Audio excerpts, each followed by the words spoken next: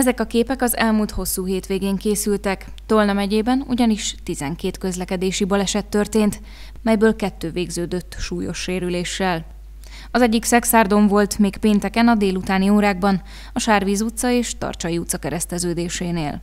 A kereszteződésben a járművezetője megállt forgalmi okokból, majd elindult, amikor nem észlelte azt, hogy mellette a kerékpár úton egy gyalogos éppen az úttesten halad át.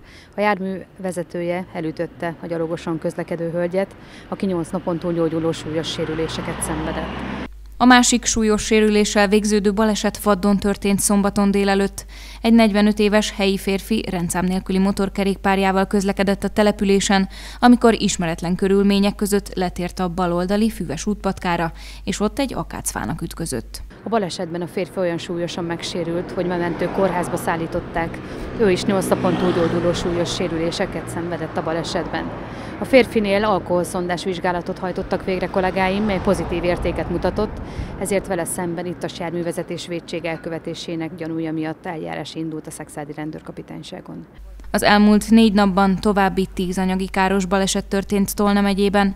A rendőrség felhívja valamennyi forgalomban résztvevő figyelmét, hogy egymásra odafigyelve, toleránsan a szabályok betartásával közlekedjenek.